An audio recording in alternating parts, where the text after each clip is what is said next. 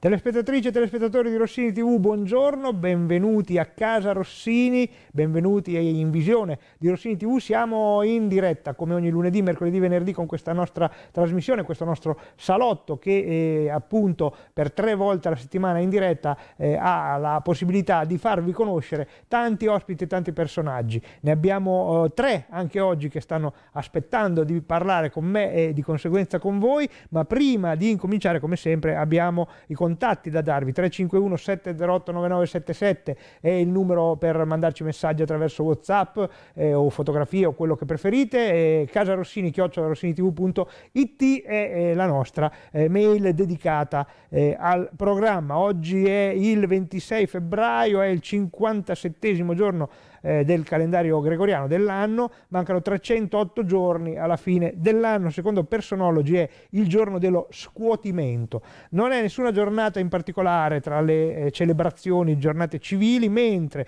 la Chiesa Cattolica celebra San Faustiniano, che è stato il secondo vescovo di Bologna nel 300, rafforzò e fece crescere con la parola della predicazione la Chiesa oppressa dalla persecuzione. L'evento storico che abbiamo scelto per il 26 febbraio è la scoperta dell'Australia 1606 a opera del navigatore olandese William Janszoon eh, 1570-1630, appunto che sul finire del XVI secolo prese servizio nella compagnia olandese delle Indie orientali. Nel 1605 una spedizione esplorativa a bordo di quella uh, nave che avete visto in replica, quella che avete visto prima è una replica attuale della uh, nave eh, secondo i disegni appunto eh, dell'epoca, eh, lo portò a sbarcare sulla penisola di Capo York in Australia, da cui tracciò la mappa credendo che si trattasse di una estensione verso sud della Nuova Guinea. Eh, le grandi scoperte sono state sempre fatte per sbaglio e credendo di aver scoperto qualcos'altro. Il 18 novembre 1605 salpò con questa Duifken da Bantam verso la costa occidentale della Nuova Guinea e il 26 febbraio del 1606 appunto sbarcò sulle rive del fiume Pennefaser vicino all'attuale città di Veipa. Si tratta del primo sbarco documentato di un europeo sul continente australiano. Poi ha proseguito, ha continuato, a un certo punto ha capito che eh, non, non, non, si capiva dove sarebbe arrivato, è tornato indietro, quando è tornato indietro ha mh, battezzato questa sua scoperta curiosamente come Nuova Zelanda eh, per ricordare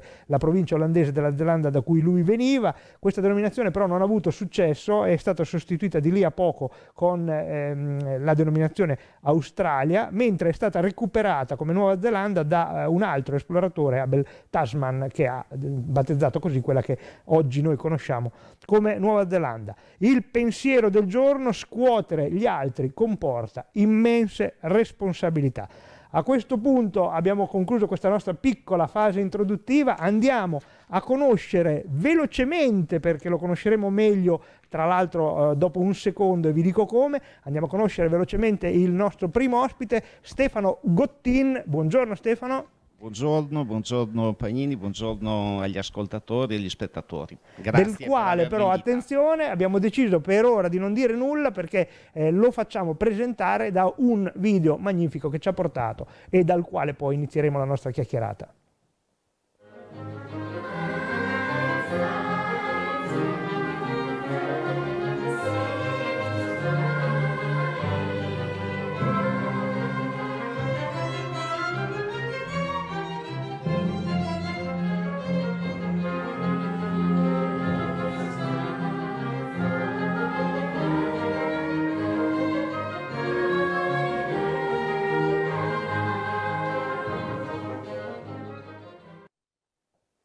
Eccoci, allora ne abbiamo fatto vedere un frammento, il video sarebbe molto più lungo, siamo con Stefano Gottin e allora a questo punto gli chiediamo perché eh, questo video, cosa c'entra Lampedusa e, e, e, a che titolo eh, hai portato a noi questo video e vieni a raccontarci della tua Wunderkammer Orchestra.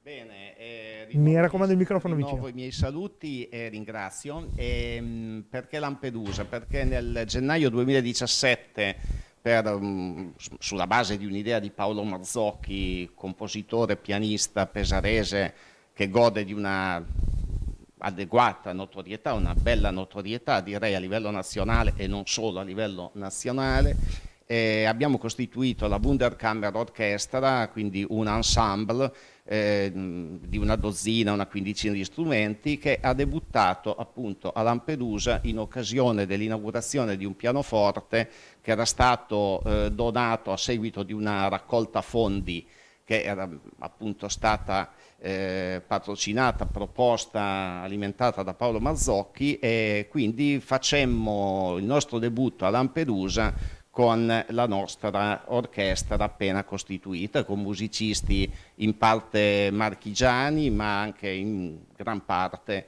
eh, attinti da altre compagini, importanti compagini fuori dalle Marche. Qui vediamo una foto, abbiamo visto poc'anzi un coro di bambini che era stato istruito da Paolo Mazzocchi che vantava appunto una collaborazione col comune di Lampedusa per conto, del Ministero eh, del, del, dell'istruzione eh, che datava da qualche anno e quindi aveva mh, addestrato, allenato, istruito questi ragazzi che si erano prodotti in corali di Bach trascritti da Mazzocchi per, per, la circostanza. Allora, avete costituito questa realtà quattro anni fa, per cui è relativamente sì. giovane, con un eh, gruppo di fondatori, otto eh, soci fondatori, e, e di questi però solo due musicisti.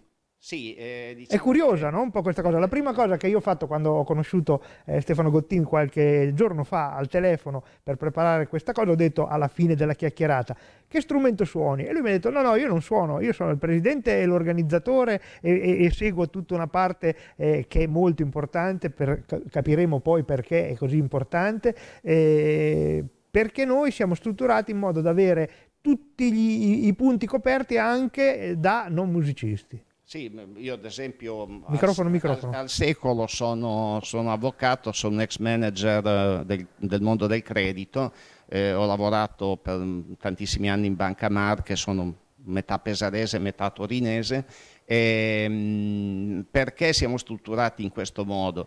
Perché eh, Mazzocchi e altri amici musicisti eh, che io poi ho conosciuto, per conseguenza hanno ritenuto che bisognava puntare sull'organizzazione, eh, eh, non bisognava partire dalla musica per far musica. Avevano pensato che mm, fosse necessario partire da, dagli aspetti organizzativi, quindi hanno chiamato me, poi abbiamo coinvolto altri professionisti che erano preoccupati perché magari sapevano poco di musica. Io ho detto, ma di musica poi c'è Mazzocchi, poi lasciamo perdere che io sono un grande appassionato di certo. musica, ma questo diciamo che il mio ruolo non ha a che fare con la componente artistica.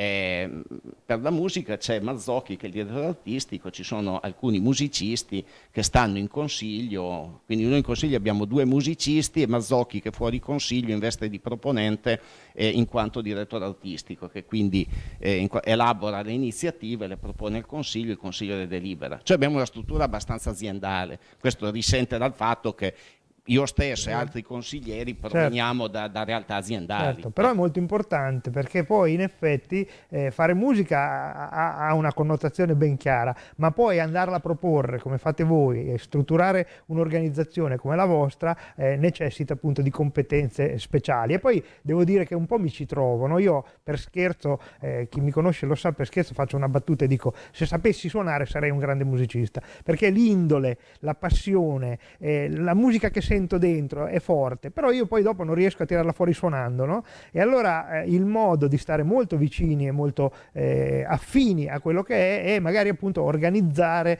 eh, attività musicali, eh, stare con i musicisti, avere un po' a che fare. Questa è un po' la chiave che hai trovato e che avete trovato voi nella Wunderkammer. Eh, sì, diciamo che poi io sono in una posizione abbastanza di vantaggio perché quando parla il direttore artistico direi che so sempre di che cosa parla, certo. ecco. però poi il ruolo è quello di il mio ruolo è di coordinamento di carattere organizzativo. Poi tenete presente che noi ci avvaliamo anche di figure professionali di primo ordine che stanno fuori dal Consiglio.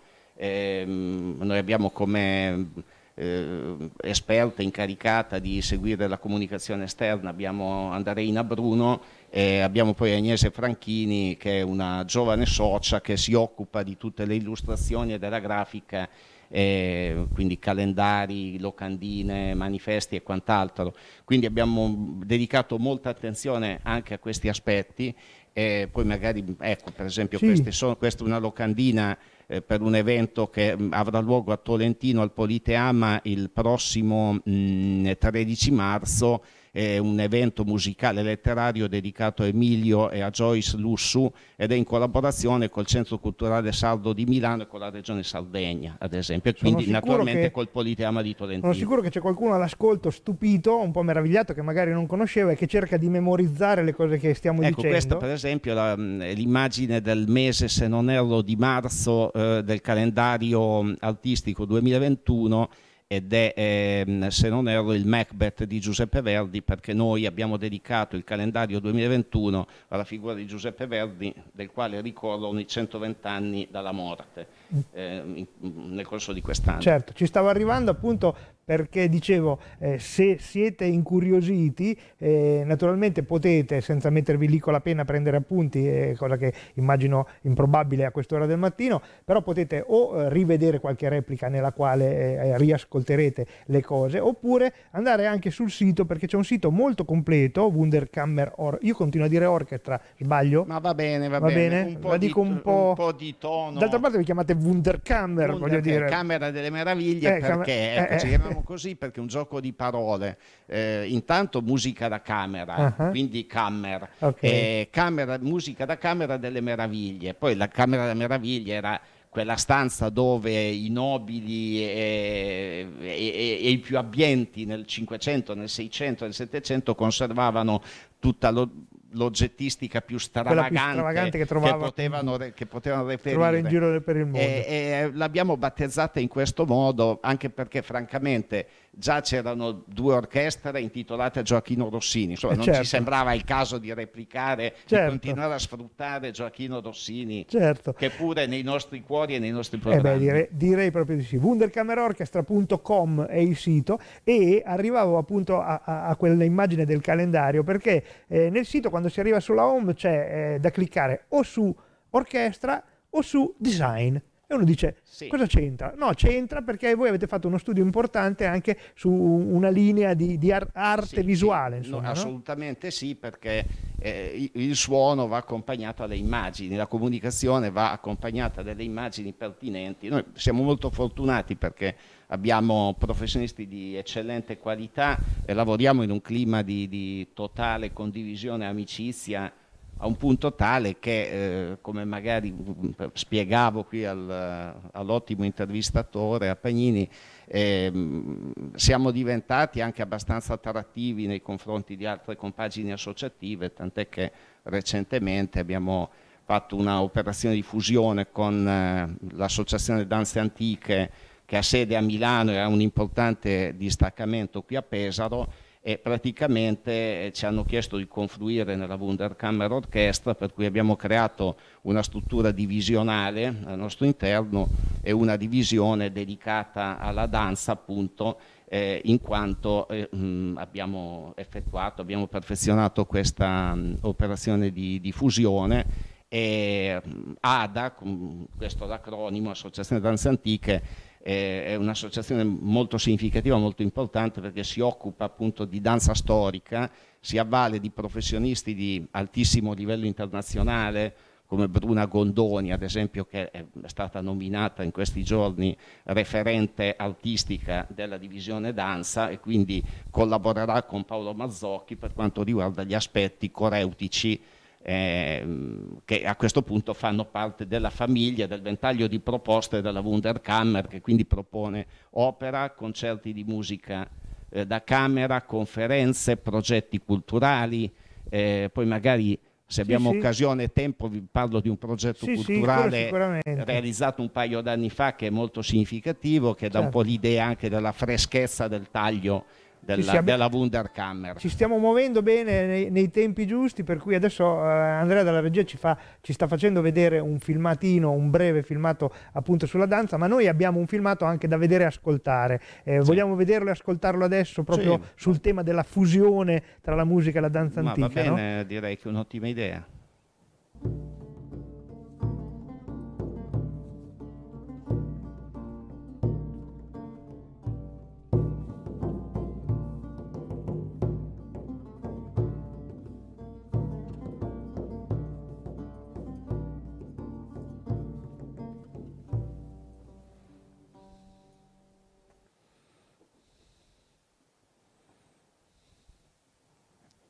Allora, eh, abbiamo visto questa fusione, suonavano e poi ballavano, insomma c'è stata questa fusione, eh, qualcosa di più eh, di, un, di, un, accordo, no? avete fatto proprio l'incorporazione sì, sì, della, sì, dell'associazione. Sì, sì, abbiamo... Eh, abbiamo colto l'occasione, già collaboravamo con l'Associazione Danze Antiche e mm, questa operazione per noi eh, ha comportato un incremento dei soci che sono passati da circa 170 a 270, quindi oggi siamo eh, siamo a 270 soci distribuiti eh, in gran parte qui nel, nelle Marche, Pesaro, nelle Marche, ma anche mm, percentuali significative sono distribuite su mm, altre regioni italiane, c'è un polo importante appunto portato al, all'interno di Wunderkammer Orchestra dall'Associazione mm, Danze Antiche su Milano ad esempio, per cui per noi vuol dire una grande apertura anche fuori dalle Marche dove appunto possiamo cominciare a contare su uno zoccolo duro di soci nel Triveneto, in Lombardia, in Piemonte, eh, a Roma ad esempio, abbiamo anche qualcuno a Napoli. Questo apre un ventaglio di prospettive, di opportunità molto interessanti, perché tanto per dire abbiamo in progetto di andare eh, al castello di Gesualdo, che è stata residenza della famiglia Gesualdo, cui apparteneva eh, Carlo Gesualdo da Venosa, eh, celebre per essere stato nel Cinquecento un musicista di stratosferica importanza, ma anche per aver ucciso la, la coniuge per una questione di, di di tradimento e figuriamoci che poi Gesualdo era anche il nipote di San Carlo Borromeo per parte di madre, quindi voglio dire, erano famiglie dove c'era veramente di tutto, potevi avere eh, contemporaneamente un grande santo, un, un, criminale che al contempo è stato anche un grandissimo un musicista. musicista. quindi ecco lì abbiamo l'opportunità di eh, realizzare un, una, una, gita, non so, a Reggia di Caserta, a Pompei Ercolano, dico per dire, e a Gesualdo con uno spettacolo di musica e danza del Cinquecento, magari con qualche chicca particolare che si inventa il Marzocchi, che ne sa una più del diavolo, per nostra fortuna, perché riesce sempre a coniugare la modernità, il nostro direttore artistico, con eh, con, la musica di, di, direi di ogni epoca. Ecco, quindi... Vedete come stiamo scoprendo progressivamente questa meraviglia, Wunder, non a caso, questa meraviglia eh, che eh, ha nelle sue caratteristiche proprio avere più eh, aspetti e, e, in questo senso avere anche eh, la, la, possibilità di coinvolgere molti soci eh, anche nella fruizione o nella realizzazione. Sì, sì. E, gli aspetti sono parecchi e adesso cominciate a capire probabilmente perché per gestire una cosa di questo genere è necessaria anche una mentalità abbastanza imprenditoriale, perché sì, la cosa è un po' complessa. Bisogna stare molto attenti ai costi, ovviamente, perché di soldi ne girano pochi eh, anche perché poi ci sono altre priorità in questo mondo, quindi è comprensibile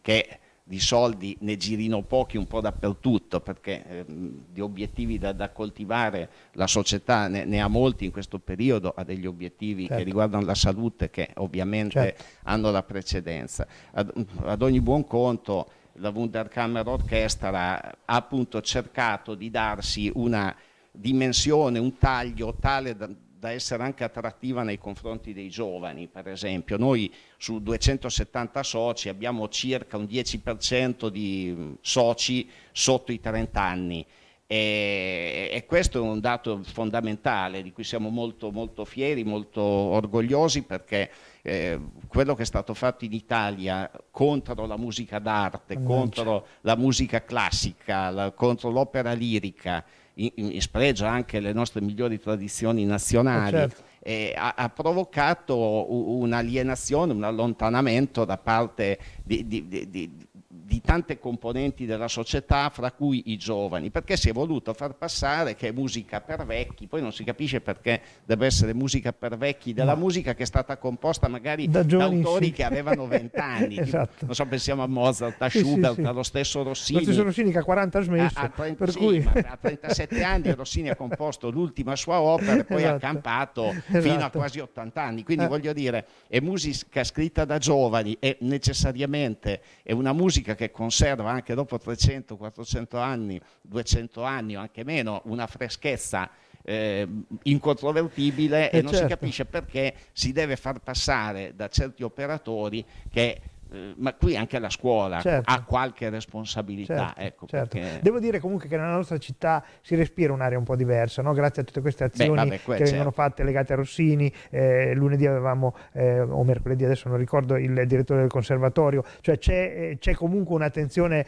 eh, appunto Beh, a, alla anche, fruizione. Anche volesse, non della può musica, fare insomma, meno della musica. Esatto, perché, per insomma... cui diciamo che forse noi facciamo razza un po' a parte rispetto a questo discorso sui giovani, eccetera. Sì, Però sicuramente l'operazione che state facendo è meritoria e soprattutto dà la possibilità appunto di eh, fruire di qualcosa di realizzato in casa. Insomma, l'associato, il socio, cosa può fare? Che ventaglio di possibilità ha il socio della Wunderkammer Orchestra? Il socio intanto ha maturato la consapevolezza di essere uno dei committenti di nuova musica, perché noi fra l'altro commissioniamo la trascrizione di partiture del passato che sono state magari composte per grande orchestra e per poterle proporre in contesti eh, piccoli, in ambienti eh, che non sarebbero idonei a ospitare una grande orchestra, ecco Wunderkammer può prodursi, può proporsi con il proprio ensemble sulla base di trascrizioni che normalmente commissioniamo. Certo. Finora mi pare che non ci siamo mai avvalsi di una trascrizione già fatta in passato da qualcun, da qualcun altro, altro che non sia del nostro circuito interno, ma anche commissioniamo nuova musica per esempio eh, al jazzista eh, Arcelli abbiamo commissionato un concerto allo stesso Carlo Tenan che è, è, il nostro direttore musicale, direttore d'orchestra, direttore dell'ensemble, abbiamo commissionato un concerto per um, pianoforte orchestra, per big band. Ecco, poi fra l'altro anche facciamo queste operazioni eh, borderline, per sì. esempio c'è un programma bellissimo eh, musicale, bellissimo dedicato agli americani, a Gershwin, Bernstein, tutto trascritto per ensemble eh, da 12 strumenti più pianoforte e um, ci siamo prodotti in questo senso con questo programma anche alla Sagra Malatestiana di Rimini eh, nel um, 2019 eh, ci è saltato poi un concerto tutto dedicato a Beethoven a novembre del 2020 per eh, motivazioni Covid, speriamo di poterlo recuperare e mi auguro vivamente che il concerto del 14 maggio prossimo al Teatro Rossini, dedicato al quinto di Beethoven e penso ai Volkslieder di, dello stesso Beethoven per celebrarlo purtroppo con un po' di ritardo per le motivazioni certo, sanitarie beh, che conosciamo, conosciamo ecco, mm, c'è questo concerto appunto il 14 di maggio al Teatro Rossini dove i pesaresi, e non solo i pesaresi, potranno vedere all'opera la Wunderkammer Orchestra con Paolo Mazzocchi che quel giorno celebrerà poi i suoi 50 anni. Ecco, allora di eh, questo prendete veramente sì, appunto, sì, questo... questo... segnatevelo, eh, i biglietti si trovano... I biglietti si, si, trovano, io spero che non si trovino, che vada tutto esatto. esaurito, in men che non si dica, però insomma si troveranno esatto, certamente. Esatto, esatto, esatto. E, voi avete un curriculum molto ampio di attività, no? 15-18 me l'ero segnato mentre parlavamo al volo, 15-18 eventi all'anno e dove per eventi voi intendete eventi prodotti o anche eh, la gita, al, eh, andare a Ci mettiamo dentro anche la gita perché poi la gita al proprio interno ha sempre un, un concerto, un momento musicale. Ecco, una cosa interessante per esempio, il mondo della musica è normalmente caratterizzato da delle forti gelosie no? fra... Sì Tizio e Caio fra questa e quell'orchestra.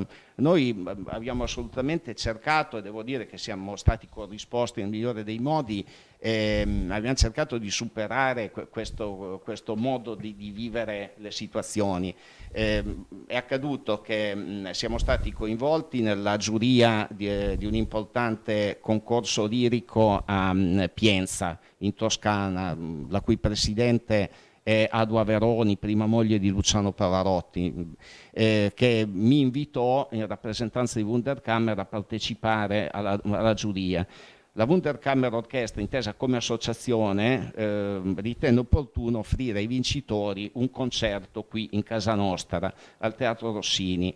Dato che sarebbe stato complicato per noi eh, realizzare le trascrizioni eh, per, per, un concerto del genere certo. e dato che non valeva la pena implementare i nostri organici per allestire una grande orchestra, semplicemente ci siamo messi in partnership con la, l'Orchestra Filarmonica Marchigiana, l'abbiamo scritturata, certo. quindi siamo usciti col doppio logo Wunderkammer Orchestra Form, loro hanno suonato, noi abbiamo messo il nostro direttore musicale a dirigere, i cantanti vincitori sono arrivati qua a Pesaro, li abbiamo ospitati e abbiamo realizzato un concerto, purtroppo fu funestato da una serata di fine ottobre 2019, funestata appunto da, da un, cattivo tempo, ah. per cui ci fu un grande successo ma con meno gente di quello che, di quello che si poteva essere, sperare, esatto. quindi speriamo di poterlo certo. replicare in condizioni atmosferiche migliori di quella esatto. sera. O in spazio protetto dalle condizioni atmosferiche. Sì, uno spazio anche. protetto. Esatto.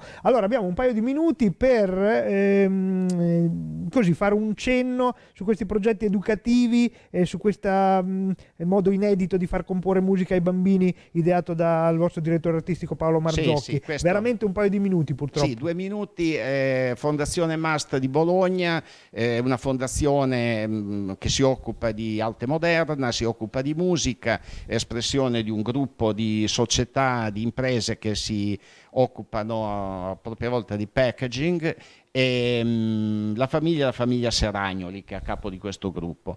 E Paolo Mazzocchi eh, che cosa pensò? Pensò che se un bambino in età prescolare è in grado di inventare delle storie, delle fiabe, delle favole, pur non sapendo scrivere, e a quel punto basterebbe mettergli a disposizione uno scrittore affinché le fiabe dei bambini certo. possano prendere corpo, eh, ha pensato di far inventare delle fiabe, delle favole a dei gruppi di bambini di due, tre individualità, quattro a seconda dei casi, e praticamente ha fatto loro disegnare, eh, fatto fare dei disegni che illustrassero queste favole, gli ha messo a disposizione la Wunderkammer Orchestra, i bambini hanno scelto gli strumenti, i timbri, le frasi, i ritmi e Mazzocchi da compositore ha recepito le indicazioni e ha montato sette piccole sinfonie. Queste sette piccole sinfonie eh, sono state proposte in prima assoluta nell'auditorium della Fondazione Mast di Bologna,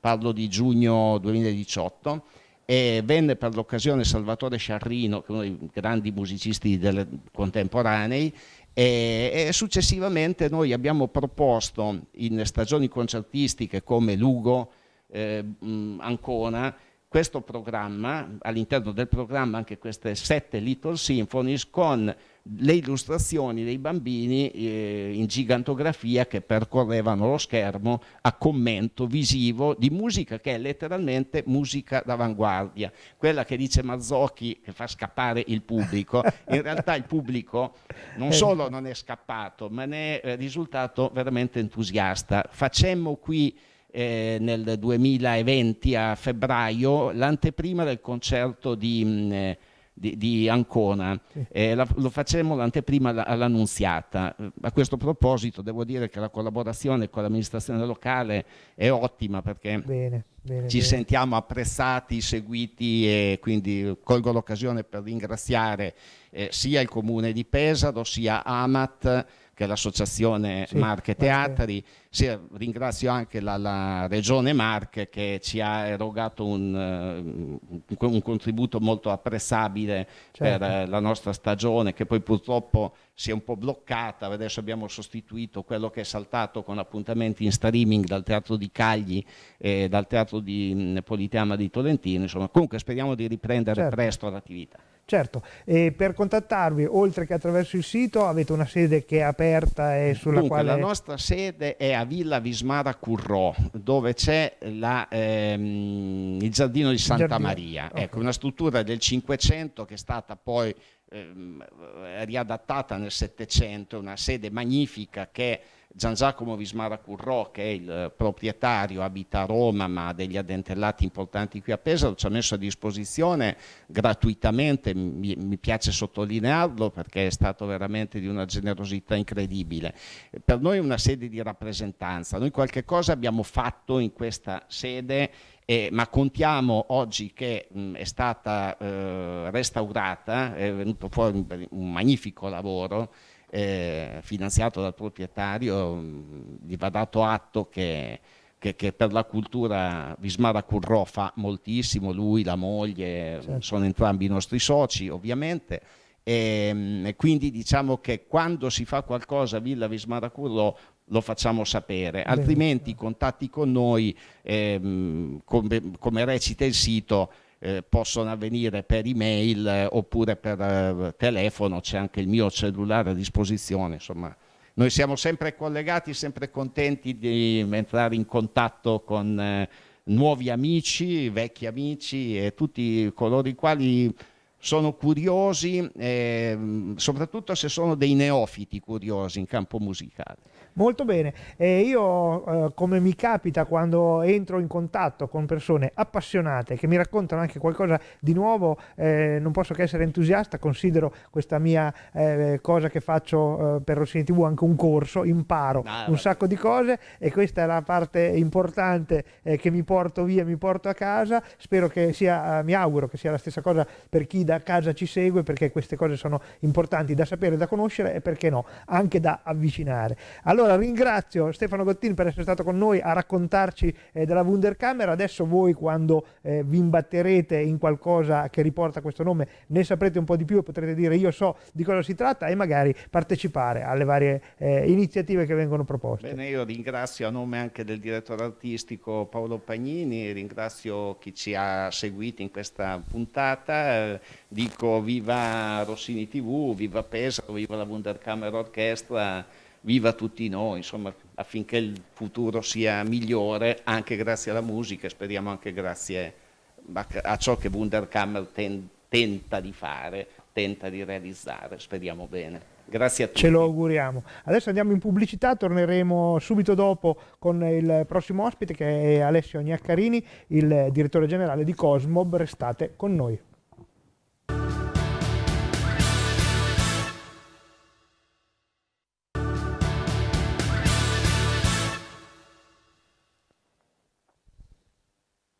Eccoci di nuovo, allora come promesso siamo col secondo ospite, buongiorno e benvenuto ad Alessio Gnaccarini, direttore generale di Cosmob. Buongiorno, mi raccomando il microfono vicino. Grazie. Così grazie. almeno ne riusciamo a, a, far sentire anche a casa la nostra chiacchierata, perché come dicevamo prima, no? ci si dimentica quasi della diretta, sì. diventa una chiacchierata eh, amichevole, ma eh, i microfoni servono, certo. per cui li facciamo, li facciamo arrivare.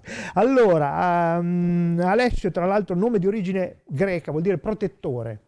Facciamo ogni tanto questa ricerca. E tra l'altro c'è un'altra cosa divertente che è una piccola tradizione che facciamo, non, non la facciamo sempre ma ogni tanto, o meglio, la facciamo quasi sempre, ogni tanto ce ne dimentichiamo ma di solito Vediamo se ci ho preso. 17 ottobre, giorno di nascita, sì. giusto? Allora, il giorno dell'equilibrio precario, non si sa perché, come i gatti nati il 17 ottobre di solito fanno il possibile per atterrare sempre in piedi. Indipendentemente dalle difficoltà e dai pericoli che incontrano sulla loro strada, cercano soprattutto di mantenere l'equilibrio. Dopo va avanti moltissimo, certo. ma lasciamo stare. I nati, Montgomery Cliff, Eminem, Rita Hayworth, Arthur Miller, insomma nomi che non hanno bisogno no, di, no, certo. di, approfondimento, insomma in buonissima compagnia. Sicuro di sé, tenace e coraggioso sono i pregi, per cui con questo bel quadretto certo. introduttivo grazie, adesso grazie. insomma possiamo fare una bella, una bella chiacchierata. Direttore generale del Cosmob, tra l'altro qualcuno eh, se ne vuole sapere un po' di più, lo dico subito, www.cosmob.it è un sito che mi sono un po' studiato,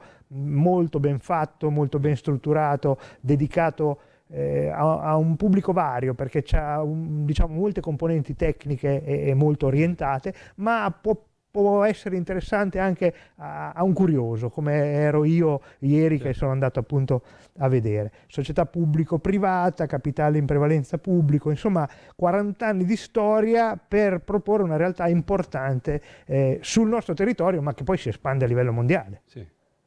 Non è vero, grazie intanto per tutte queste ricerche, mi ritrovo in questa cosa, penso che, che è un messaggio positivo, insomma, cascare in piedi, vivere, saper vivere nell'incertezza, perché oggi è molto attuale, certo. quindi sono caratteristiche, penso, oggi positive. Ma Cosmov è, è vero, ha 40 anni, è nato mm, negli anni 80, primi anni 80, con l'obiettivo di essere uno strumento di politica industriale, quindi di, di aiuto allo sviluppo di un settore che diciamo, predominante per il nostro territorio, la nostra regione, quello del legnarredo. È nato, ha avuto in 40 anni, come tutte le cose hanno tanti, tanti momenti certo. di evoluzione, ok? Quindi si è partiti da un'attività prevalentemente più focalizzata in mercati internazionali, quindi l'aiuto, il supporto alle aziende per le fiere e così via. Negli anni, fine anni 80 la missione è cambiata, è diventata una struttura tecnica. Oggi siamo in un capannone industriale, quindi abbiamo un'area industriale fatta di attrezzature, macchine, eh, tecnici. Nella nostra azienda sono quasi totalmente figure tecniche impegnate, laureati, quindi ingegneri, chimici, biologi. Ehm, e quindi questa è la nostra certo. competenza. Il, il cambio della mission sostanzialmente ha seguito il cambio del mondo, perché certo. in effetti se negli anni Ottanta era necessario consorziare le aziende che lavoravano eh, in, una, in un settore comune per sì. dare la possibilità dal punto di vista del consorzio di proporsi eh, in blocco e compatti sì. al mercato mondiale, eh, adesso a questo punto diciamo che eh, il mondo è cambiato, per cui probabilmente e c'è sempre questo tipo di esigenza, ma ci sono anche altre esigenze che nascono e che difficilmente l'azienda da sola è in grado di sostenere sì. e supportare. Per cui voi proponete una serie di servizi alle aziende, soprattutto nell'ambito del, delle certificazioni, della formazione, sì. tutte di altissimo livello, per, con un obiettivo, con una mission che è quella eh, a me mi verrebbe da dire di migliorare il mondo perché comunque quando si punta alla qualità e quando si punta a, a, appunto a, ad arrivarci a, livelli di eccellenza eh, si migliora un po' il mondo, no? Sicuramente. Eh, penso che eh, questa parte di tema, il tema tecnico, eh, sta sempre più diventando determinante anche per i fattori della competitività del prodotto, delle aziende, sia per i mercati nazionali ma soprattutto internazionali. A livello internazionale la normativa tecnica è anche un fattore di barriera non tariffaria, quindi molti paesi usano questi strumenti normativi per limitare o frenare le importazioni no, di prodotti, favorire le economie locali, no? quindi è un tema complesso, eh, molto, già molto applicato in ambiti diciamo così, tecnologicamente più evoluti come so, il settore alimentare, farmaceutico, che piano piano sono tematiche che arrivano anche nei prodotti di uso più comune, no? quindi prodotti diciamo così, del manifatturiero, no? quindi del, tipici del nostro territorio come le calzature, i vestiti e quindi anche l'arredo, no? che è un po' un concetto del sistema moda integrato, diciamo certo. così. E quindi tutto questo è in realtà un mondo che richiede un, insomma, una specializzazione ed una, anche una, eh, diciamo così, riconoscibilità o accreditamento eh, di livello internazionale perché altrimenti non sei utile al sistema sostanzialmente o non sei considerato un attore del sistema. Un anello, diciamo, giusto, un anello del giusto del sistema. Quindi per noi è, sono, è, fondamentale lavorare in paesi a livello internazionale, dalla Cina al Brasile, Centro America, in Europa obbligatoriamente, per poi ecco, dare un servizio efficiente a livello nazionale. Ecco, questo è un po' quello che diciamo, si, si, impone e si propone è un salto culturale, nel senso siamo abituati, eh, abbiamo imparato a stare attenti magari a guardare l'etichetta di quello che mangiamo o, del, o, sì. o dell'abito, a vedere di cosa è composto tutto, quando poi magari andiamo a cercare un mobile da metterci in casa... Mh, mm, guardiamo altro, magari guardiamo il prezzo, guardiamo no, forse solo eh, sì. il design, quanto pesa, certo. ecco, ci sono altri parametri che stanno eh, cominciando a farsi avanti proprio questo il tema, cioè oggi la prestazione tecnica è diventata un, sta sempre più diventando un fattore che entra anche nel, nelle logiche del processo di acquisto di un prodotto. Prima era solo un, fattore, un fatto di eh, adeguamento alla normativa, diciamo così, più o meno stringente di uno certo. Stato, un paese. Okay.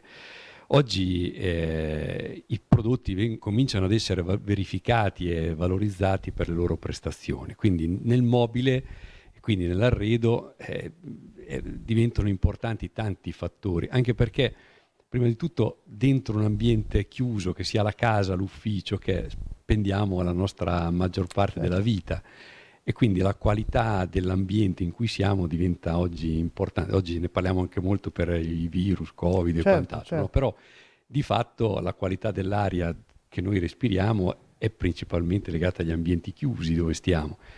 E quindi l'impatto dei prodotti in termini di emissioni di sostanze nocive è potenzialmente rilevante. L'arredo, inteso come complesso di un ambiente, quindi dai, dai pavimenti ai soffitti, ai muri, fino ad arrivare agli infissi, ma poi ai tavoli, le sedie, eh certo. no? le, cucine o camere che sia, fino al mondo dell'ufficio diventano importanti. Quindi diventa importante la qualità dell'aria, diventa importante il discorso della, dell'igiene, quindi problema per esempio oggi di dover sanificare gli ambienti significa usare sostanzialmente dei prodotti più aggressivi sulle superfici dell'arredo. Questo certo. vuol dire cambiare gli, gli, dire, la prestazione dei prodotti, perché certo. altrimenti il prodotto si scolorisce, si macchia, si graffia. Non era stato costruito per quello, costruito insomma. per questo. Quindi que- questi fattori cambiano anche le prestazioni dei prodotti. No? Quindi l'igiene diventa un elemento importante fino a quelli basici che sono la sicurezza, quindi il fatto che un prodotto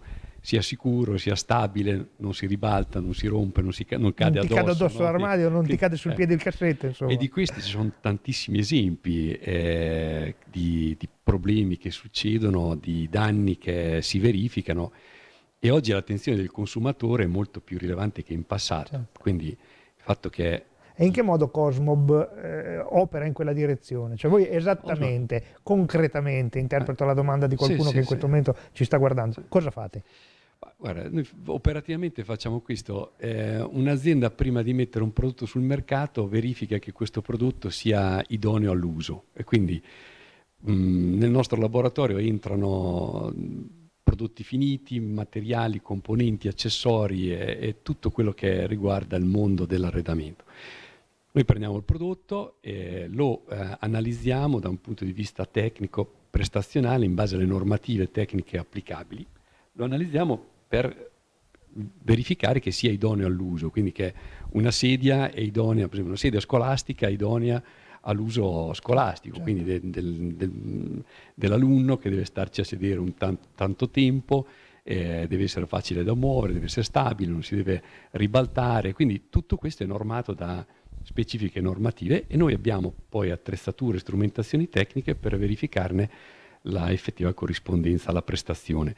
Quindi alla fine rilasciamo all'azienda una certificazione che gli consente di presentarsi sia al mercato privato sia al mondo delle gare pubbliche, quindi al, agli acquisti pubblici fatti da eh, ministeri, scuole, banche, i nostri clienti sono so, la Banca d'Italia, certo, può, certo, può sembrare certo. strano, no? però la Banca d'Italia, le grandi Chiaro. società di, diciamo così, eh, di, consulenza che, che, hanno tanti uffici no? in, in, giro per il paese, so, le ferrovie dello Stato che devono comprare tanti arredi per certo. tanti spazi, che fanno capitolati tecnici che, nei quali devono descrivere esatto. le prestazioni attese del prodotto che compro, al di là dell'aspetto estetico esatto. e colori, prezzi, che poi sì, sono sì, altri elementi per cui non è, eh, insomma, quello da, che è da capire è che non si tratta di mettere in fila un po' di firme su della documentazione, no, no. ma si tratta di verificare no. veramente che quella sì. documentazione dica il vero, eh, proprio forti del fatto che siete voi a certificarlo. Sì.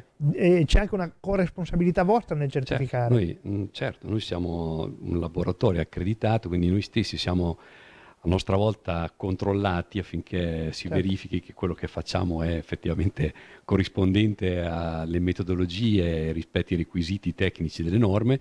Questo per far sì che i nostri rapporti di prova sono riconosciuti nel mondo, quindi se uno si presenta dagli Stati Uniti, in Europa o in qualsiasi paese che c'è un mutuo riconoscimento tra i laboratori, fa sì che le nostre aziende hanno un accesso diretto senza certo. necessità di fare di nuovo verifiche. La, la ulteriore, sì. Praticamente come, come, viene fatto per i, le macchine, eh, sì. l'immatricolazione, le verifiche certo. certo. per le automobili, per quelle cose lì. Certo. Ma fate anche cose quelle che si vedono ogni tanto, gli stress test, non so, no. aprite e chiudete i cassetti certo. mille volte, ah, anche quelle cose lì facciamo, proprio? Facciamo soprattutto queste cose qui. Ah, Quindi prove di durata, stabilità. Uh-huh. Eh, C'è chi salta sui materassi, no, eh, quello no. Ci, sarebbe chi, chi, avrebbe voglia di farlo, esatto. però in realtà c'è una macchina che lo fa. Esatto. Però il materasso è sempre un prodotto ambito, diciamo. Eh, eh, sì, sì, eh, ci credo. Oppure abbiamo fatto uh, tante sperimentazioni, per esempio stiamo sviluppando delle, dei, delle nuove norme, sul, per esempio proprio l'esempio del materasso, uh-huh. poi qui entrando in ogni prodotto ci sarebbero poi, mille esempi. Eh, certo. Però per esempio il materasso, è, oggi la normativa tratta del problema della resistenza fisico-meccanica, però eh, con più difficoltà riesce a normare l'elemento del comfort, no? certo. quindi quello che è un elemento di comfort per una persona, non so, di due metri è diverso da una di ah, un metro e mezzo, da 80 kg o 50 Quindi certo. l'elemento comfort è un, una nuova frontiera da, certo. da indagare. Questo giustifica ecco, la parte di ricerca e sviluppo che noi abbiamo come, esatto. come centro dove abbiamo numerosi progetti a livello soprattutto internazionale, europeo, ma anche lavoriamo in paesi, ecco, facciamo progetti di ricerca in America Latina per sì, dire. No? con istituzioni di livello mondiale per studiare ecco, nuove soluzioni, soprattutto nell'ambito oggi del, della sostenibilità. La sostenibilità, eh, i materiali, la provenienza dei materiali, certo, materiali. Certo, certo molto tempo. Ma le, le macchine che vengono usate, adesso così eh, sto andando proprio di curiosità, niente di sì, quello di cui sì, avevamo sì, parlato, ma, no, no, no, eh, certo. ma, queste macchine le, eh, vengono prodotte da voi? Eh, Questo, queste... Questa è una bella domanda, eh, perché in realtà eh, di queste strutture come Cosmo, in Italia ce ne sono due, c'è Cosmo e un altro. Questo determina, che sta a Udine, no? quindi questo determina l'assenza del mercato, certo. quindi quando noi dobbiamo comprare una macchina nuova non possiamo andare alla fiera, dice compriamo certo. questo, questo quindi ci dobbiamo studiare la norma e realizzarcela da soli. Quindi se uno entra nel nostro laboratorio vede attrezzature e strumentazioni di tipo artigianale. Il fatto di avere nel nostro territorio tanti artigiani che sanno lavorare, ah, ecco. eh, diciamo così, da, da, da, dal, dal, metallo, diciamo certo, così, certo. fino certo. all'informatica, all'elettronica, oggi la robotica, ok? Questo ci consente di autocostruire le nostre tecnologie sì, sì, e anche di esportarle in alcuni casi. Questo Avete testato anche voi i banchi a rotelle? No, quelli no. Penso che Cosmo ha testato l'80% dei banchi a rotelle sì, che anche? sono stati non chiedo, non chiedo, un parere sui banchi a rotelle, no, lasciamo stare che dopo entriamo sì. nel mondo sì, sì, eh, de, delle, delle, opinioni partigiane. No, no. Tecnicamente l'hanno passato, per cui vuol dire che insomma... Tecnicamente non generano un danno esatto, di sicurezza, cui... diciamo così, tipo diretto. Dopodiché Vabbè, su, su, altri ci, aspetti... Ci, fer- ci fermiamo eh, lì. Parliamo di altro, no? perché poi il tempo corre e c'è tutto un discorso invece legato alla formazione che voi fate, che è molto importante. Sì. Ma la formazione apre un tema importante, cioè in questo senso, nel settore arredamento a livello non solo locale ma a livello nazionale c'è una carenza di offerta formativa dagli istituti tecnici superiori fino alle università. Certo. È difficile, cioè non, non c'è una scuola no, specifica per questo, ci sono state tante esperienze, eh, però diciamo non c'è qualcosa di strutturato. Quindi noi abbiamo avviato questo istituto tecnico superiore per il legnarredo, ce ne sono anche qui in Italia, siamo, siamo noi, un altro istituto in Brianza, eh, è una grande sfida, eh, devo dire molto partecipata a livello locale, in quanto con noi collaborano tutte le scuole del territorio, dall'ITIS di Urbino al Bramante Genga, all'Istituto, d'Arte di Pesaro, ehm, il Polo 3 di Fano, l'Università di Urbino, quindi una un'attività molto partecipata, partecipa al mondo dell'impresa, alle associazioni di categoria, però diciamo, è una sfida che diciamo, non solo è necessaria, ma avrebbe necessità di essere molto più diciamo così, sostenuta e spinta perché l'offerta formativa non è tanto ah, certo. la nostra in concorrenza con altri, proprio è carente sì, sì. come offerta. Manca proprio, manca esatto. proprio, non solo a livello locale, diciamo così, è un problema anche di Stiamo parlando di un percorso eh, post diploma, eh, per cui pari diciamo, a, a, al percorso poi universitario, sì. rivolto a chi si è diplomato, per cui ha 19 sì. anni sì. circa, e, e, che decide di continuare gli studi eh, finalizzandoli a un settore ben preciso. Per cui, eh, come tutti i corsi post diploma, ha tutta una sua struttura, ore, materie, Beh, laboratori. È un corso, è un corso diciamo molto interessante nel senso che dura due anni, ma metà delle lezioni sono fatte in azienda e metà in aula. Eh, l'istituto ITS oggi è stato anche rispinto diciamo così, dal, dal, dal discorso di Draghi stesso, eh certo, no? come discorso certo. di, di, di, che è un modello insomma, un po' copiato dal modello francese e tedesco, no? quindi per dire avvicinare i giovani al mondo dell'industria. Eh, e alla fine quello che tengo a, a, sottolineare è che il giovane che esce da questi corsi non esce con un, un, certificato di frequenza di partecipazione, ma è un certificato emesso dalla scuola, quindi l'ITIS di Urbino rilascia un, un certo. diploma di istituto tecnico superiore, quindi dentro il percorso diciamo, esatto. ministeriale di formazione. Quindi è un, un percorso serio, ecco, questo che penso che sia importante da sottolineare. Voi che ci avete sempre creduto, ve l'aspettavate questa sorta di endorsement da parte di un ministro del Consiglio e eh, di un presidente del Consiglio, che nella fattispecie è Draghi, però sì, sì. ricordiamo che Draghi ha sottolineato l'importanza di dedicare spazio a, a formazione legata e finalizzata al mondo del lavoro e dell'industria. Ah, diciamo che noi adesso aspettare si sperava. è difficile, però, no, eh, però, pensiamo che sia una cosa necessaria. Ecco, oggi eh, credo che questi strumenti sono, eh, sono fondamentali insomma, per avere una reazione a, a, questo momento anche difficile e particolare che si sta vivendo. No? quindi bisogna reagire, ma bisogna reagire con eh, delle strategie solide. Ecco, questo penso che sia un tipo di approccio serio e solido su cui puntare. Ecco. Da quanti anni è, è diciamo, attivo la, la, parte della formazione? Noi siamo alla quinta edizione, quindi già abbiamo... Ci sono già diversi, diversi diplomati. Diversi ragazzi, però c'è, c'è, un punto, un aspetto importante da, da sottolineare. È necessario che diciamo, tutti, la società, i genitori, cioè le famiglie, cioè, capiscono che il mondo della manifattura, del, dell'industria, è, è un, un, mondo che è il futuro, diciamo così, non è solo il passato e quindi forse si parla un po' troppo di turismo, un po' troppo solo, diciamo così, di turismo piuttosto che di eh, aspetti così, servizi, okay, che sono tutti cose fondamentali dell'economia, però diciamo così, la manifattura certo. è stata la base del nostro territorio di, di, crescita e di sviluppo, io penso che sarà anche certo. la base del futuro, quindi ritorniamo c'è, c'è questa attenzione. sorta di eh, sottolineatura che alle volte sembra superflua ma che invece è importante no? se mangiamo delle cose qualcuno le deve coltivare mm. se compriamo delle cose qualcuno le deve fare certo. allora l, l, il mondo giusto è il mondo in cui tutte queste cose stanno in armonia c'è chi si occupa di una cosa chi dell'altra certo. chi dell'altra senza spingere necessariamente per forza con, con criteri no, di esclusiva no, un settore piuttosto dell'altro no? tutto importante naturalmente con un'azione che poi è quella che voi state facendo ma che tanti altri in altri settori stanno facendo facendo di innalzare eh, la qualità. Credo che tra i lasciti, eh, lo dico abbastanza spesso, tra i lasciti di, di questa pandemia che ci lascia eh, tante, tanti dolori, tante tristezze, tra i lasciti invece da non trascurare c'è proprio questo, la qualità vince. La qualità è importante perché permette di eh, tenersi a galla, sì, insomma, sì, di, non, di, non, soccombere di fronte a tutto cioè, questo. Quello che io credo che oggi e penso che molti paesi del mondo, noi abbiamo lavorato e lavoriamo molto in paesi emergenti, poi mh, dire, abbiamo scelto per tante ragioni l'America Latina, no? quindi per eh, cioè, essere protagonisti, aprirsi dei mercati all'estero, eh, lo, lo, si riesce a fare se si sa avere qualcosa di, differ- di differente, diciamo così, di attrattivo. Ecco.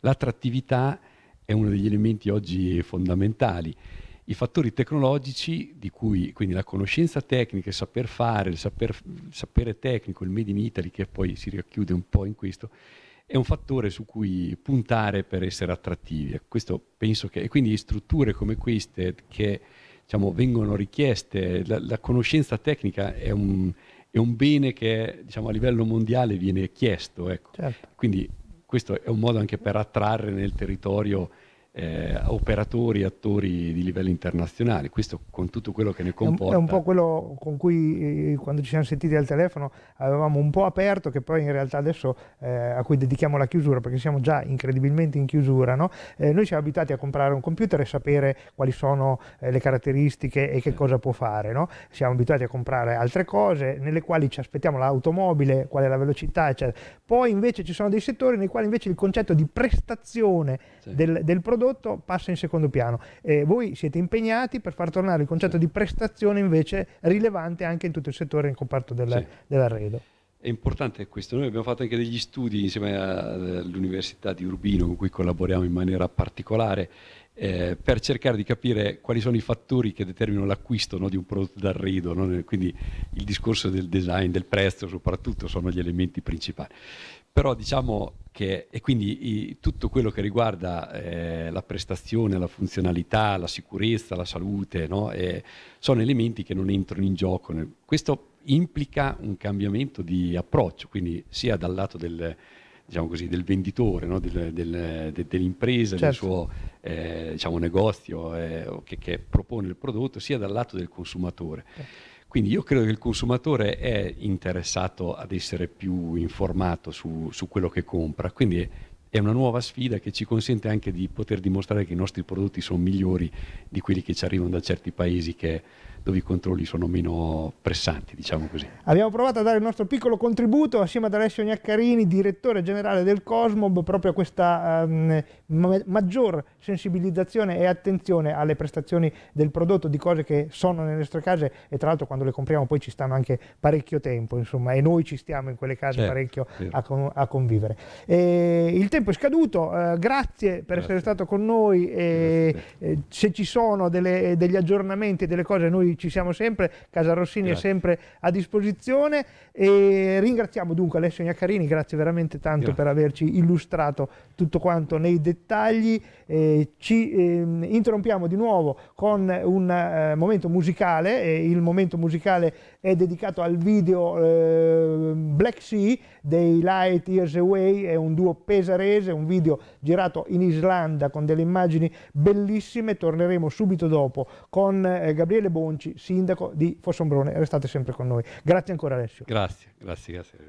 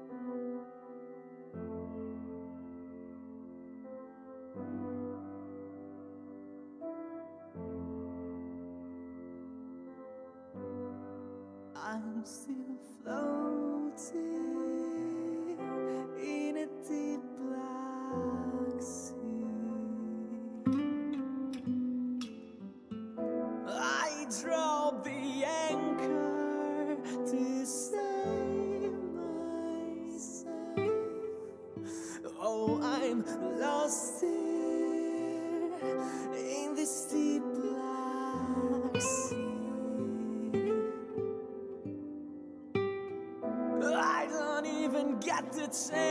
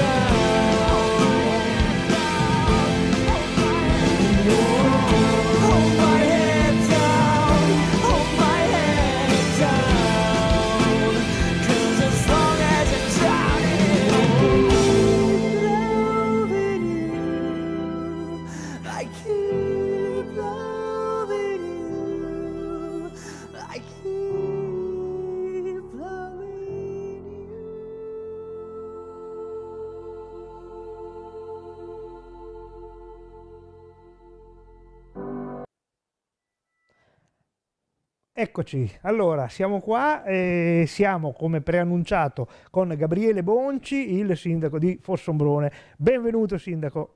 Grazie, grazie a te, buongiorno e buongiorno a tutti i telespettatori. Buongiorno al sindaco di Fossombrone col quale faremo una chiacchierata sul suo territorio, ma prima, come sempre facciamo, o quasi sempre, Gabriele Bonci è nato il 21 marzo, giusto? Allora noi abbiamo un librone che è il libro Personology, eh, serve anche un po' per sdrammatizzare, ma per far conoscere che cosa dice questo libro eh, per i nati il 21 marzo, il giorno della chiarezza, tra l'altro il 21 marzo è un bel giorno, no? inizia sì, la primavera. il primo giorno di primavera. Il 21 marzo è un giorno di vitale importanza per l'anno, segna tradizionalmente l'arrivo della primavera, rappresenta l'equinozio di primavera in cui il giorno e la notte hanno pari durata. Le sue caratteristiche devono quindi essere considerate come primarie nella natura. Corrispondente alla loro eredità simbolica, i nati il 21 marzo tendono ad avere una personalità schietta ed essenziale piuttosto che complessa e ultrasensibile. Poi va avanti il librone, però insomma già una piccola... Eh, nati questo giorno Timothy Dalton, attore gallese, Alda Merini, Ayrton Senna, insomma in buona compagnia. In buona direi, compagnia. in buona compagnia. Coraggioso, espressivo, diretto, sono i pregi ci sono dei difetti che non leggiamo più da, da, un po' di tempo, lo dico sempre perché quando li leggevo vedevo che c'era questa reazione un po' mm, sì, sì, sì, più o meno, però insomma è un po' così, per cui va bene così, il nome di origine assira significa uomo di Dio, Gabriele. Non, non, lo sapevo. Vedi, eh, tra l'altro non lo sapevo neanche io, nonostante io abbia un fratello che si chiama Gabriele, ma non avevo mai indagato. Allora, dal 2016 sindaco di Fossombrone, 2016, 17, 20, 20, si va a elezioni nuove quest'anno? Si va ad elezioni, non sappiamo ancora la data perché in teoria la scadenza naturale del mandato sarebbe fine maggio, però siccome siamo purtroppo, ahimè, in pandemia, è probabile che subisca uno slittamento dopo l'estate. Ancora non c'è nulla di ufficiale, ma è probabile che si prolunghi di qualche mese la mia avventura qualche giorno in più per pensarci. Sì, sicuramente ci aiuta anche perché da un anno a questa parte effettivamente la nostra attività è totalmente stata stravolta no, da quello certo. che sta accadendo, per cui avere qualche mese in più non, è, non fa male, insomma. Certo, è utile sia per continuare a operare su quello che si sta facendo e anche per pensare a cosa fare dopo. Assolutamente sì. Sul quale non chiedo niente perché non, no, si, al momento non, mm, top secret. Non sappiamo niente. Allora, eh, più di 9.000 abitanti, nel territorio c'è anche Calmazzo, eh, famoso per avere il, il, passo del furlo, insomma, che sì, non è una cosa... È una delle, marginale. Diciamo, delle nostre realtà, è, il furlo è un po' a metà strada sì. tra alcuni comuni, no? sì, coinvolge Acqualagna, coinvolge Infatti, Fermignano e Fossombrone. Quando si parla con quei, quei comuni, tutti noi abbiamo il furlo, abbiamo il furlo, ce l'hanno tutti. Ognuno no? vorrebbe che fosse eh, suo certo. perché è una bellezza chiaramente no? che ci contraddistingue, come tante altre che ne abbiamo, poi forse ne parleremo certo. nel corso del... Come no, come no, come no. Allora, in questo periodo molto particolare abbiamo, voi, voi eh, eravate, siete famosi per un calendario di eventi molto, molto ricco, eh, il carnevale storico, altre situazioni nelle quali vi coinvolgete sempre, chiaramente la pandemia ha messo tutto in pausa.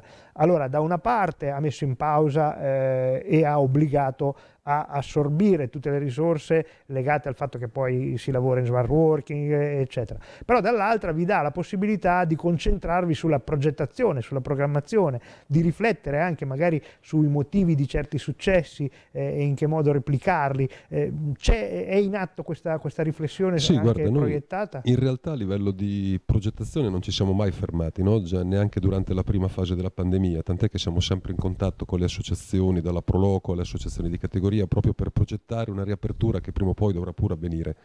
E, mh, diciamo che la nostra amministrazione punta molto su quella che è l'attività turistica, eventi, che purtroppo, come dicevi tu poco fa, da circa un anno a questa parte sono ovviamente tutti congelati, però avevamo molti eventi che durante l'anno si susseguivano a partire dalla primavera con la mostra mercato del tartufo bianchetto, per proseguire col carnevale storico, che era forse l'evento clou per la nostra città, sia come numero di avventori, ma anche come numero di partecipanti, di comparse, perché centinaia, migliaia probabilmente di eh, ragazzi, persone anche più adulte lavoravano per preparare i costumi, i giochi, quindi un evento che raduna veramente, concentra, fa riscoprire il senso anche dell'appartenenza ai quartieri e certo. alla città. Quindi piange il cuore purtroppo non averlo potuto fare lo scorso anno, speriamo quest'anno, ormai sicuramente non lo potremo fare neanche quest'anno, speriamo il prossimo si possa ripartire. Quindi ecco, questa attività non si è mai fermata in realtà di progettazione e eh, come ti dicevo poco fa noi puntiamo molto su quello che è l'attività mh, sia delle associazioni ma anche degli eventi stessi ai fini della promozione turistica del nostro comune, perché io sono convinto che Fossombrone abbia tanto da offrire, è sconosciuta ai più, io penso che ci siano ancora cittadini di Fossombrone che non conoscono tutte le bellezze certo. artistiche della città, e tanto più cittadini anche dei comuni limitrofi, mi riferisco a Urbino, Fano, Pesaro, perché no? E, e noi da quando ci siamo insediati abbiamo puntato molto, intanto sul restauro un, un, po' un vernissage dei nostri beni culturali, perché abbiamo realtà che voglio adesso elencare velocemente, mi riferisco non so alla chiesa di San Filippo, che è una chiesa barocca tra le meglio conservate e le più belle delle Marche, ecco questo che sta passando in questo momento è un rosone che abbiamo ristrutturato qualche mese fa, che era chiuso perché danneggiato dal dopoguerra ed era oscurato da una parete. Lo abbiamo rimesso in sesto, è stato un bel intervento anche perché eh, non è semplice lavorare in quella chiesa, sono intervenuti dei rocciatori praticamente per, eh, senza impalcature, si è lavorato in maniera anche molto, molto particolare. Però è un risultato importante perché la riapertura di questo rosone dà una nuova luce all'intera chiesa che si presenta oggi, abbiamo cercato di riportarla il più possibile a quella che è la, la sua Però bellezza originale. è stato danneggiato dalla guerra, sì, era muro, rotto e l'hanno chiuso con un muro, per cui abbiamo dovuto mh, togliere la parete, tirare giù il rosone, rifarlo e rimetterlo su ed è stata un'opera abbastanza certo. impegnativa per chi l'ha realizzata. Eh, certo. E San Filippo è una delle nostre eccellenze, dicevo, è tra le chiese più belle e meglio conservate di quel periodo barocco nelle Marche. E ehm, abbiamo la quadreria Cesarini, un'altra casa, una, una, casa museo che il notaio Cesarini intorno agli anni 70 ha lasciato alla comunità di Fossombrone che abbiamo deciso anche questa di puntarci molto, l'abbiamo trovata in uno stato non dico di abbandono ma era piuttosto mh, mm, trascurata, diciamo mm-hmm. così. Abbiamo proceduto con delle opere proprio di, che riguardano so, gli arredi, tendaggi, tappeti eccetera e eh, recentemente c'è stata l'inaugurazione di una balaustra sponsorizzata dalla Fondazione Cassa di Risparmio di Pesaro tramite l'Art Bonus che ringrazio, ecco questa, questa come si presenta oggi. E ecco, questa appunto è la nuova balaustra e eh, come dico anche qui il nostro obiettivo è quello di riportare eh, queste, queste, realtà, queste eccellenze il più possibile a quello che loro, era il loro stato iniziale di, di splendore. E mh, tutta questa attività collegata, ehm, adesso qui abbiamo parlato di Quadreria Cesarini, di Chiesa di San Filippo, ma non dimentico, non so, il parco archeologico, il museo archeologico, il, la pinacoteca, insomma abbiamo tante piccole eccellenze che meritano di essere scoperte. Tutta questa attività la stiamo portando avanti anche insieme alla Confcommercio di Pesaro, con la quale abbiamo aderito sì. al progetto dell'itinerario della bellezza, alla quale certo. abbiamo affidato sia la promozione turistica che la gestione delle nostre strutture museali e del punto yacht. E nel corso di questi anni abbiamo avuto un forte incremento di presenze turistiche. Chiaramente, eh, come dico sempre, Fossombrone non è la pretesa di essere a Firenze o Venezia che attira un turista da Tokyo piuttosto che da New York. Certo. Però nel nostro insieme, poi con questo progetto che mette veramente in rete tutti i comuni dell'entroterra, al quale stanno aderendo sempre più comuni, quindi evidentemente è un progetto che piace e che funziona, abbiamo visto un forte incremento delle presenze turistiche. Anche lo scorso anno, benché o forse agevolato anche dal Covid, che magari ha spinto certo. gente che di solito andava all'estero a venire esatto. a Fossombrone, abbiamo registrato un forte incremento di presenze e quest'anno ancora deve partire, vi ripeto, adesso la situazione non, è, non sembra, ahimè, delle migliori, Temo che torneremo in zona arancione fra poche ore. Speriamo di no, Speriamo di no ma le, le, probabilità sono certo. elevate. Quindi vediamo, viviamo un po' la giornata, però stiamo sempre sul pezzo, certo. lavoriamo sempre per cercare di rendere la nostra città sempre più accogliente. Quando, più voi, quando voi, intendete turismo, intendete il turismo di passaggio che si ferma magari va al ristorante o ci sono anche strutture recettive in grado di ospitare? Ma guarda, Fossombrone eh, ha qualcosa. Onestamente come postiletto siamo un pochino carenti, anche se negli mm. ultimi anni sono sorti diversi B&B, diversi agriturismi, quindi qualcosa riusciamo ad ospitare. Chiaramente non abbiamo la possibilità di certo. ricevere mh, comitive di massa per grandi numeri, però c'è qualcuno che si ferma sì, anche sì, per sì. soggiornare, perché poi magari, non so, sta a Fossombrone qualche giorno, poi si sposta Urbino, sposta, certo. poi magari, non so, chi viene al mare a volte viene nell'entroterra, trascorre la mezza giornata, no? anziché passare in spiaggia. Quindi, insomma, da quel punto di vista non ci lamentiamo ripeto, l'ultimo anno ha condizionato molto questa Chiaro. situazione. Io però, sto pensando, e sto spingendo e sto proponendo proprio questa idea di scoperta del territorio proprio legata a, all'impossibilità o comunque alla difficoltà a muoversi a più ampio raggio. No? Eh, tutti quelli che si muovono, eh, adesso non voglio dire proprio mm, in bicicletta, però anche eh, tutti quelli che si muovono in motocicletta eh, a, a, corto raggio, ma anche famiglie che magari vogliono dedicare eh, una mezza giornata, una giornata, eh, sto scoprendo, io per primo, che la nostra provincia offre veramente tantissimo, tantissime opportunità e mettere in rete è anche una mossa vincente perché ti dà la possibilità di dire sì ok vado a Fossombrone, poi dopo due ore, eh, se ho voglia di muovermi, poi da lì eh, a, a, pochi chilometri trovo un'altra cosa interessante, poi un'altra, un'altra e mi costruisco la mia giornata. Sì, sì, assolutamente. Ecco, ribadisco, adesso non è pensabile che un turista stia a Fossombrone 15 giorni no? certo. o, o, una settimana, però una giornata o due a Fossombrone si possono trascorrere. Poi, ripeto, siamo a uno tiro di scopo d'Urbino piuttosto che da Fano, per cui siamo anche in una posizione strategica certo. no? dal punto di vista della distanza. quindi ecco, mh, mm, ribadisco, mh, mm, c'è molto interesse, vedo che insomma c'è molto fermento da questo punto di vista, poi col fatto che anche la Regione Marche negli ultimi tempi no, è stata eh, certo. riclassificata a livello turistico come una delle mete più belle del mondo, per cui ecco, ci lavoriamo e siamo anche soddisfatti dei risultati. E siamo quasi in chiusura già, perché quando si parla di belle cose il tempo vola. E mi ero preso un appunto su questa Fiera del Tartufo edizione online. Sì, ci stiamo lavorando perché... Non profuma però mm, online. No, purtroppo no. Ancora non ci, forse ci arriveremo eh, a trasmettere anche i profumi online o sui telefoni. Però è una cosa sulla quale stiamo lavorando, lavorando proprio per dare un segnale che nonostante tutto non ci si ferma, no? non ci si arrende, cerchiamo di portarla avanti. Quindi ci sarà questa sfida online tra i vari ristoratori, che sono un'altra delle nostre eccellenze. Vediamo, anche questo, ripeto, è un progetto nuovo chiaramente, però sperando che possa suscitare comunque interesse e simpatia nei confronti di, di chi la segue. Certo, Eh, mi domandavo, nelle ehm, opere conservative che fate, nelle riscoperte, nelle, eh, eh, mh, così, le- nelle risistemazioni, eccetera, riuscite a coinvolgere la popolazione locale così come fate durante gli eventi? Mi pare di capire che gli eventi eh, abbiano come caratteristica anche quella di essere eh, realizzati proprio da, da, da, da forsempronesi, no? Nota, eh, l'ho detto bene, Sì, forsempronesi. Sempronesi. Eh. Sì, qualche volta abbiamo qui, poi dipende dal tipo di attività. no? Certo. Logicamente le cose più materiali, più semplici le puoi far fare anche ai volontari e alle associazioni e non, non- non di rado abbiamo coinvolto persone a ripulire delle aree, per Certo, esempio, certo, ma proprio a livello di eh, il grosso, no? diciamo così. Sì, Poi sì, ovvio che gli interventi più specifici vanno Quello- fatti dagli esatto, professionisti, però c'è molto, molto interesse, molta risposta da parte della cittadinanza, ci, ci seguono, ci aiutano e quindi da questo punto di vista sono contento. Per cui fatto buo- eh, viene fatto un buon lavoro sia, come mi eh, piace sempre sottolineare, dal punto di vista della promozione della località verso l'esterno, che dal punto di vista della eh, eh, attenzione a, a chi eh, in quella, in quella località ci abita sempre. No? Sì, sì, assolutamente. Poi ecco, adesso non voglio dimenticare per esempio i ragazzi delle scuole durante la giornata del FAI, che hanno anche loro dimostrato molto interesse e anche molta competenza no, durante queste giornate, per cui si cerca di stimolare in loro l'interesse per la loro città, l'amore per la loro città, che credo sia importante. I forsempronesi sono contenti? Di me?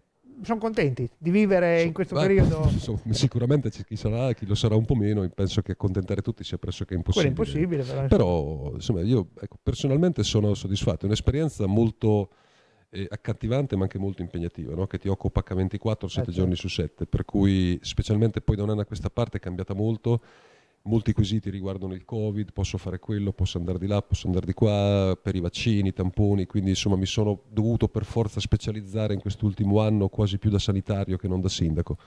Questo penso valga per tutti i colleghi Certo. che, Ah, che sì, sì. svolgono la mia funzione, Sì, ecco, ci ha cambiato veramente la vita questo modo di questa maledetta pandemia. Vediamo una foto ad hoc. Sì, questa è, non so quanto tempo, è l'inaugurazione di un macchinario che Siamo abbiamo già fatto. fuori. Siamo già oltre, pochissimi giorni fa, perché comunque io tengo molto al discorso sanitario, in particolare il nostro ospedale di comunità di Fossembrone, che ahimè non è più ospedale nel vero senso della parola da qualche anno.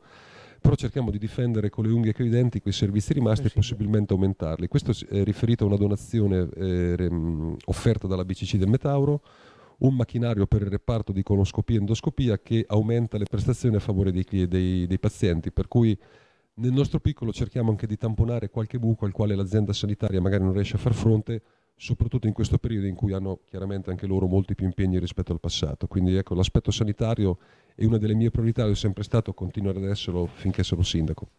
Bene, allora siamo stati eh, veloci ma ne abbiamo dette veramente tante e ci auguriamo di aver fatto conoscere ancora un po' meglio eh, un pezzetto del nostro territorio, un pezzetto importante del nostro territorio come quello di Fosombrone ai nostri telespettatori. Eh, ringraziamo Gabriele Bonci per essere stato con noi. te ringrazio Rossini TV. invitiamo a, a tenerci in considerazione eh, su tutti gli aggiornamenti che ci sono e su tutte Molto le cose. volentieri. E oltre a Gabriele Bonci, sindaco di Fossombrone, sono stati con noi oggi Alessio Gnaccarini, direttore generale Cosmob, Stefano Gottin, presidente della Wunderkammer Orchestra. Si conclude questa settimana e si conclude con oggi anche il mese. Noi ci vediamo eh, per la diretta lunedì eh, primo marzo e naturalmente potete seguire eh, tutte le repliche di Casa Rossini eh, agli orari consueti che ormai avete imparato a conoscere. Grazie a tutti, restate sempre con eh, la programmazione di Rossini TV. Grazie ancora Sindaco. Grazie a te.